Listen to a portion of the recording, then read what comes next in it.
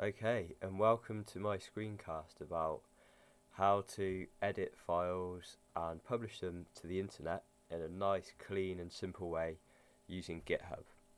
So, to start off with, this is our website that I set up, um, and it's using GitHub pages, so everything's hosted for free, um, and it's all kind of open source.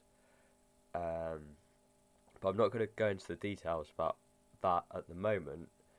Um, what I'm interested in is how to publish um, stuff to this website in an easy way because often GitHub is seen as something that's just for kind of real geeks and computer programmers when in fact um, with this new tool called Prose um, it can be a lot easier to publish. So um, let's say that we want to create a video, um, a, a new video. I've set it up so that each of these categories is separate. Um, and what we're going to do is go into this Prose.io thing and that allows you to automatically in quite an intuitive way publish new things so navigate to your website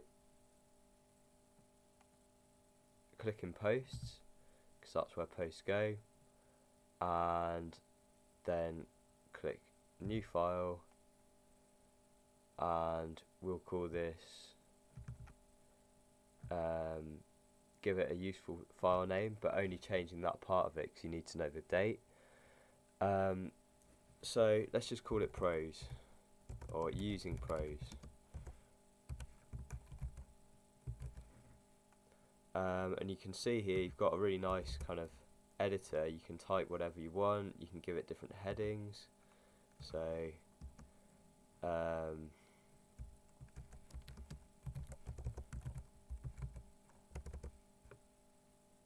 and you can even embed stuff um, into it if you want. So to embed a, a video for example just go into um, search for an atomic zombie because that's quite fun. Like that. Okay, so um, as you can see, you've got other things like if you want to have um, bullet points or numbers, that's fine, you can do that. You can also include media and links, so it's all great. But for now, that's pretty much it. We're ready to publish it. So we're just going to go into click here on this um, metadata tab and then you can add whatever tags you want. So I'm going to call it a um, tutorial create new. Um, the layout's default that's what we want. It's not an article it's actually a video so we can change that. And then we're all done and ready to go then the final stage is click this save button. You can type a better message in there. It's probably useful for other people. But for now I'm just going to commit.